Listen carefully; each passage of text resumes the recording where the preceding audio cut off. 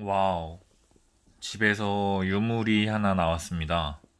94년 조수미 서울 콘서트인데요. 예술의 전당 오페라 하우스. 제가 10살, 11살 때네요. 금난새 오케스트라와 함께 했는데, 그 당시에 CD를 이렇게 한번 보시죠. 와.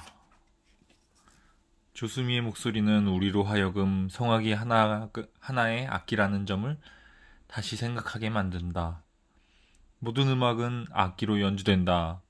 그러고 보면 음악을 연주하는 그 많은 악기 중 살아있는 악기는 성악뿐이다. 와우. 스트라디바리우스가 세계 최고의 바이올린이듯이 조수미는 세계 최고의 살아있는 악기다. 그리고 그 동시에 악기를 가장 열, 잘 연주하는 연주자이다. 라고 나와 있네요. 여러분들, 조수미 콘서트 함께 들어보지 않으시겠습니까?